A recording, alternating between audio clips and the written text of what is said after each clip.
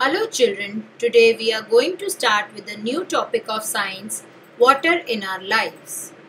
Water is an important source of life, without which it is impossible for us to live. Now come to the aims of the lesson. To learn about the importance of water, to make students familiar with the sources of water, to learn about uses of water, to know about water pollution and water conservation.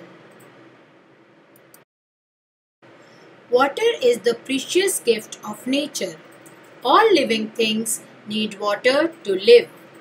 It is required not only for survival of life but also for a healthy and happy life. Life is impossible without water as we cannot survive without water. Students, now let's learn what is groundwater. The water below the earth's surface is called groundwater.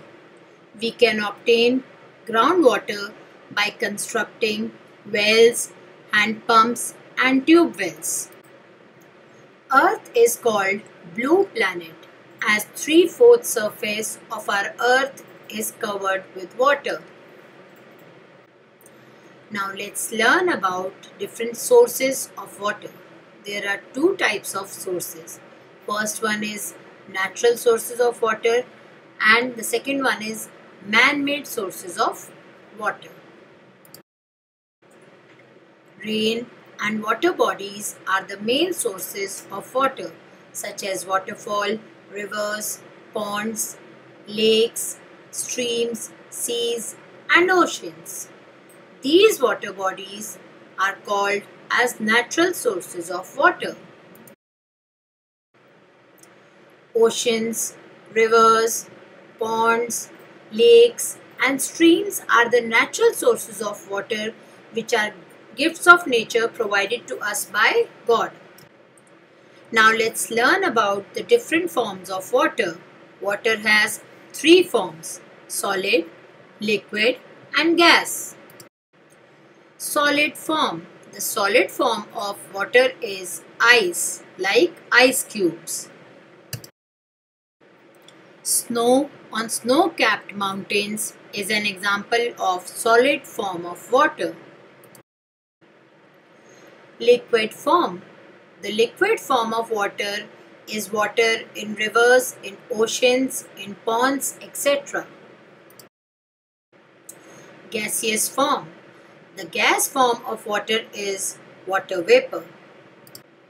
Now let's learn about the different uses of water. Water is very essential for us as it is used for many purposes like drinking, cooking, cleaning, bathing, washing and many other purposes. Let's learn about the water cycle. Water cycle is a continuous process in which water changes from one form to another. This cycle includes the processes like evaporation, condensation, precipitation and collection.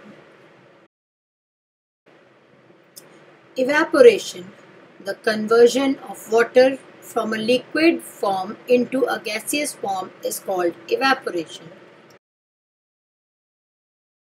The sun evaporates water from the ocean, lakes, seas and rivers. The evaporated water changes from a liquid form into water vapor, a gaseous form.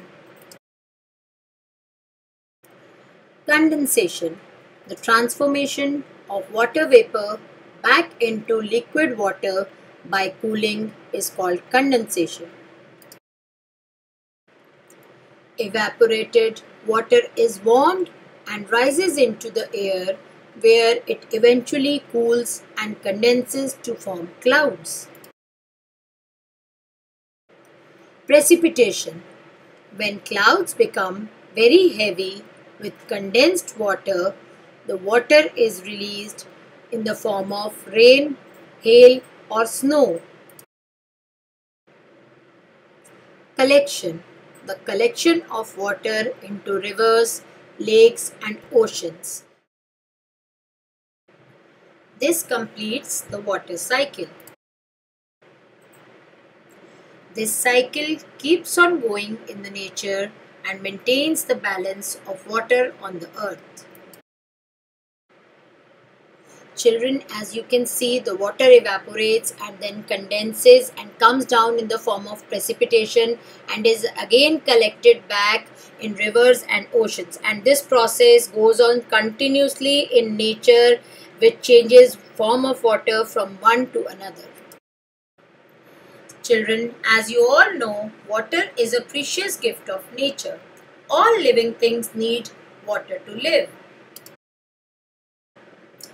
The water which we drink comes from the river. But what is happening nowadays? Rivers are turning dirty because of what we humans do. So let's have a look at what we all do to make water dirty, which is a precious gift of nature. Human activities which makes the river dirty are like washing clothes, throwing garbage in the rivers, bathing in river, throwing harmful substances into the river. All the human activities makes water unfit for drinking. Litter makes the water bitter. Now let's learn what is water pollution. Water pollution is the contamination of water bodies usually as a result of human activities. Water bodies include, for example, lakes, river, oceans, etc. Due to water pollution, only small part of water is fit for drinking.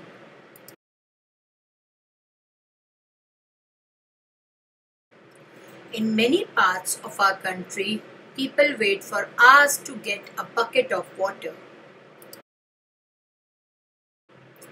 The main reason of water shortage is that we waste water. So we must conserve water as the world is in our hands. Few reasons which leads to water shortage. Leaking taps lead to water wastage bathing with shower also leads to wastage of water. So we must use a bucket and mug to bathe and we should get the leaking taps repaired at the earliest. We should not keep taps open while we are brushing or washing the utensils to save water. Children, can you imagine a day without water? No, you cannot start your day without water as we need water for different purposes like cleaning, washing, drinking, bathing and brushing. So, students, water conservation is the only way for life's preservation. Water conservation is a practice in which People, companies and government attempt to reduce their water usage. Even a drop can bring life, so we must save water to conserve life. Let's learn some simple ways to save water. Saving water in the bathroom. Turn off tap while brushing teeth. Take shorter baths. Turn off tap while applying soap. Turn off tap after each use. Do not flush tissue paper or waste into the toilet.